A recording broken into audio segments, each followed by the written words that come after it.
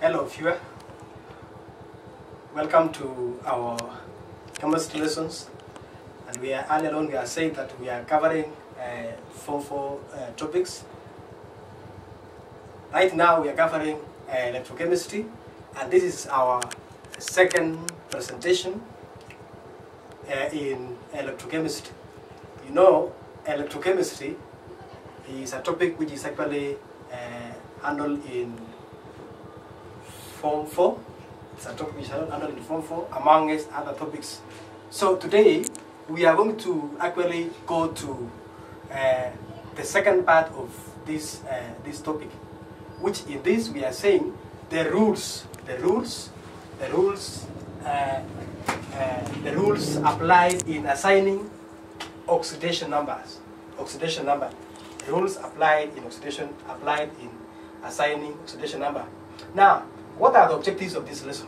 What are the objectives? Maybe you, will ask yourself, by the end of this lesson, the learner should be able to, number one, we are saying that uh, learner should be able to outline rules of assigning oxidation numbers. Outline rules of assigning oxidation numbers. You know that rules are very important in uh, uh, manning activities of a man.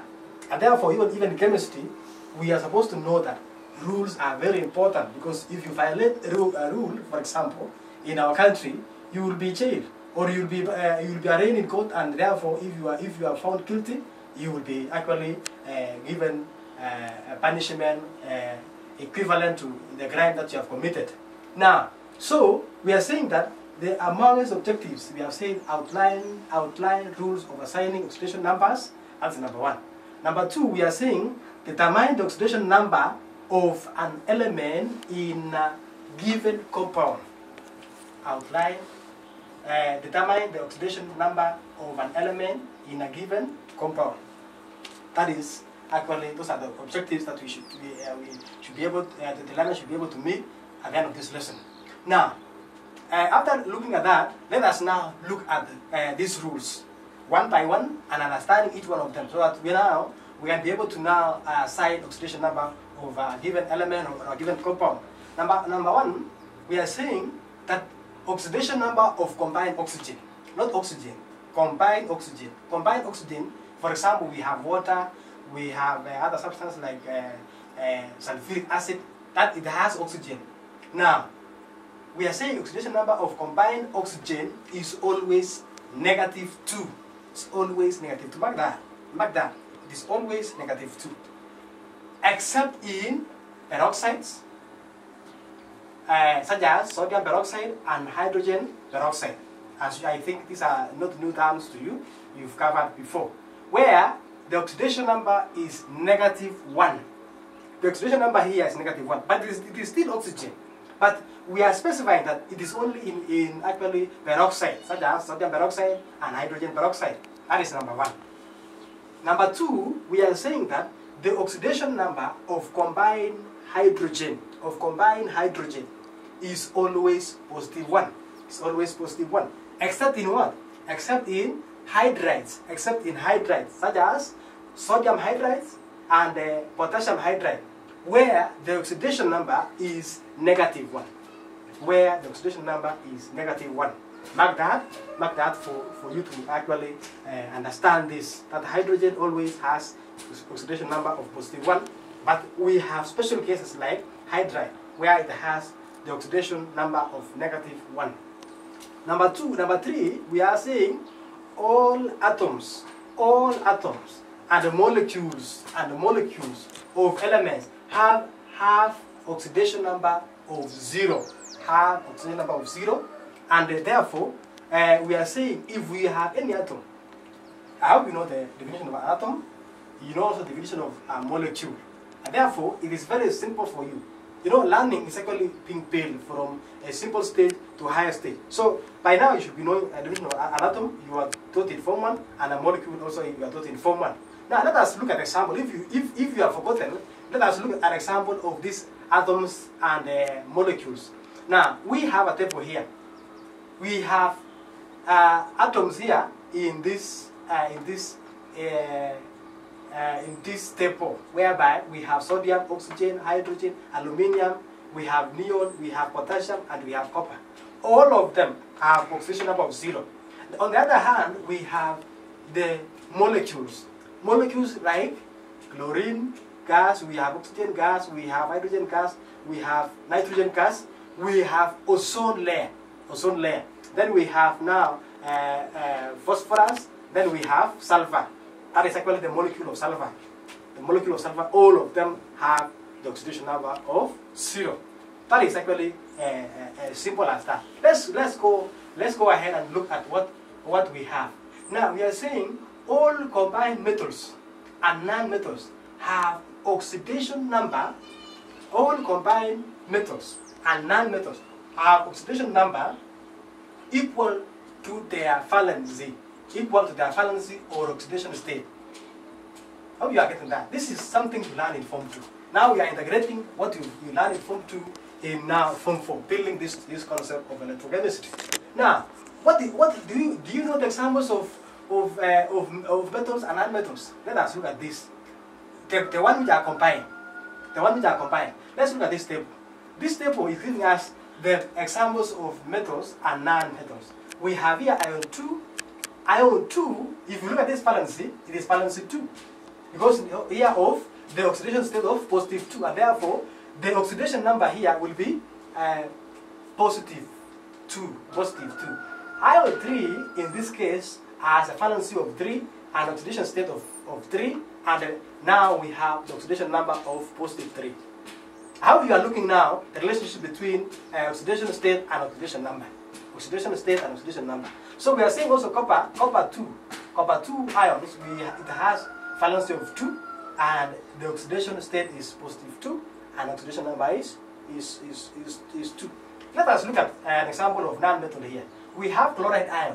Chloride ion is valence 1, and therefore the oxidation state here is, is negative 1. The oxidation number is negative 1.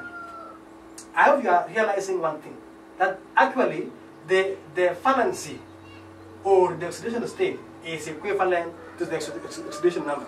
So I hope now you can be able to actually look for yourself the others here which are, which are given and be able to deduce the same thing. Deduce the same thing. These are actually combined. Combined means what? It is in a compound. It's in a compound. Now, let's look at, uh, at, at, at, the others. Now, rule number five says the sum of oxidation numbers of atoms, of elements making a compound is equal to zero if we have a compound. Now, do you know an example of, of a compound? Let us now look at the, example here. So the, uh, the oxidation number here is actually uh, uh, zero. It is zero. Now, let us look at an example. We have copper 2 sulfate. Copper 2 sulfate. Copper 2 sulfate has the following atoms. It has copper, one, one copper atom, and you know copper, as we have seen in rule number 4, is actually has uh, positive 2. Now, we have also uh, one, one atom of, of sulfur with oxidation number of 6. Later on, we are going to look at that, how we can, we can get this. Then we have also four atoms of oxygen. Now, oxygen here is not, uh, is not a peroxide, and therefore, it is obvious that oxidation number is negative, negative 2. It's negative 2 as applied in rule number 4. So, the sum of oxidation numbers of atoms in copper 2 sulfate is equals to 0. Let us look at that. Copper here is positive 2. And we have here, uh, this is sulfur, which is positive 6. When you uh, sum this, it is, it is positive 8. And when you sum this here, which is oxygen, uh, we have four, four, four atoms of, uh, four ions of oxygen. So we have uh, negative 2 times 4, which is 8. So positive 8 uh, plus negative 8 is equals to 0. So I hope you have realized that. You have realized that. Now let us now see an example which actually can help us to solve an example, to solve a, a given problem. Now if we have here uh, the same sulfuric acid, sulfuric acid, we have two hydrogen, and we have here, uh, this is positive 1 times 2, which is uh, uh 2. Then plus uh, x. x here is what? Is actually, we want to find out the, the oxidation state of sulfur in sulfuric acid. So, we know oxygen is mm, uh, negative 2 times 4. So when you sum this, this is positive, uh, positive 2 plus uh, plus, uh, plus x plus negative 8 is equals to 0. So when you actually uh, get that, you will actually uh, take that one to the other side to find the value of x. And you find that now the value of uh, uh, s here, or sulfur here, is positive 6. Now, maybe you have not actually uh, be able to grasp that, but I want us to still look at the next other example. Another example. So therefore, we are saying that the name, the name here, the name of this compound is called sulfuric 6 acid. Now, I hope you have realized why we, it is called sulfuric 6 acid. Because the oxidation, uh, oxidation uh, number of sulfur here is positive, uh, not uh, uh, positive 6. And therefore, it is actually called sulfuric 6 acid. It's called sulfuric 6 acid. It is called sulfuric 6 acid. Now, now let's, let's uh, proceed further and look at another example. Let us look at another example here. The example here is, uh, that is rule number 6. We are saying the sum of the oxidation number of atoms of elements making a charge or a charge radical or a complex ion. Now here we are dealing with a radical or a com complex ion. In Form 3, in Form 2, you look at the radical, and Form 3, you look at the uh, complex ions. So is it equal to its charge? Is equal to its charge. The sum now of uh, the oxidation number of the uh, elements making the uh, charge radical is equally equal to uh, equal to its charge. Now let's look at the example here. An example here of sulfate. Sulfate here has the oxidation oxidation number of negative, uh, negative 2. It has oxidation number of negative 2. And therefore, uh, we are saying, let us look at this. One atom of sulfur with oxidation number of, of positive 6. We have four atoms of oxygen with oxidation number of negative 2. That is actually, when you sum all those, it is giving us what? Negative 2. We are saying positive 6 plus bracket negative 2 times 4. 4 why? Because we have four molecules of, of uh, four ion, four atoms uh, four particles of, of, uh, uh, of oxygen, four particles of oxygen, and therefore when you sum that, it should give us negative 2. Let us look at this. This is positive 6, this is negative 8. When you sum this, it is giving us negative, negative 2. That is actually true from what is reflected here. It is reflecting that the sum of the oxidation number of element making a radical is actually uh, equivalent to equivalent to the overall charge. The overall charge. Hope now you are following that. Now let's Let's look at an example here. Let us look at an example here. In this case, we want to find out the oxidation uh, oxidation number, oxidation oxidation number of manganese in the manganese ion, in the manganese ion. Now let's let's let's proceed. Now you know that we let us take uh, the oxidation number of manganese to be x, and here we have four atoms of, ma of manganese. So we are saying this is an and negative 2, which is now of oxygen, times 4 at 4, 4 particles. Yeah, 4 particles is equivalent to the overall charge. What is the overall charge here? It is negative, negative 1. It is negative 1.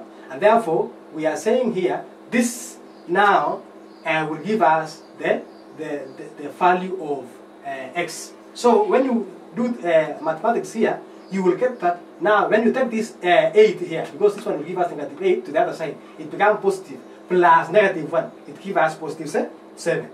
This is now, we will call your attention why we call this one manganese 7 ion.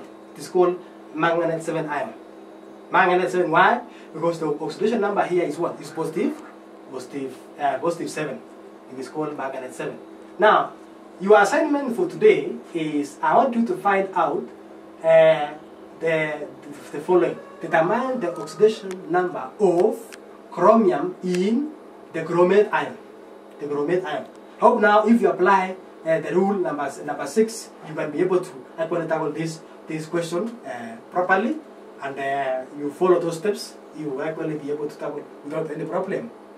Thank you very much and uh, we don't, don't forget to subscribe at Mwalimu Sitoni so you can get more lessons. Now this is lesson 2 uh, if you subscribe, you are going to be alerted on lesson 3 and many other lessons which are coming uh, anytime the lesson is posted. God bless you. Thank you.